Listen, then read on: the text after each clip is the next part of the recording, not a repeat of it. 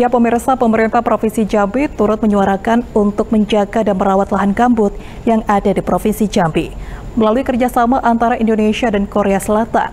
Dalam kesempatan ini juga turut mendukung dan dalam ekosistem lahan gambut yang ada di Provinsi Jambi.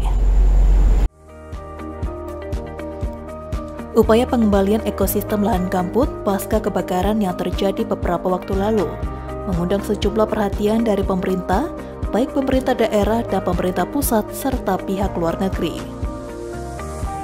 Wakil Gubernur Jambi Abdullah Sandi menyampaikan, ada peran serta masyarakat, pemerintah dan pihak lainnya dalam mengembalikan ekosistem lahan gambut sebagaimana mestinya.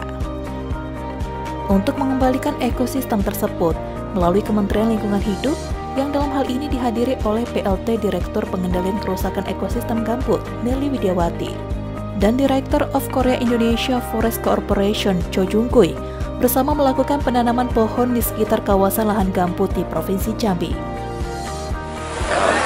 apa yang dibangun secara tahap dan secara diresmikan mudah-mudahan bermanfaat.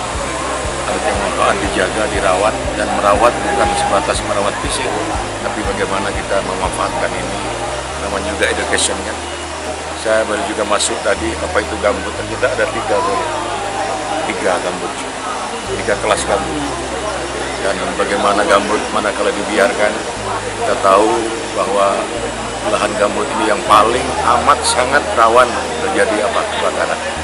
Dan yang kita uh, bicarakan ini yang sedang kita lakukan ini adalah adalah bagaimana mengelola situasi bagaimana lahan gambut bekas terbakar kita apakan? Kalau belum terbakar kita jaga jangan sampai terbakar. Begitu terbakar karena begitu luasnya di Bali Jambi kalau dari kita pada 350 hektar ya 30 hektar. Terbesar itu 355 hektar. Sekian juta di dunia ini.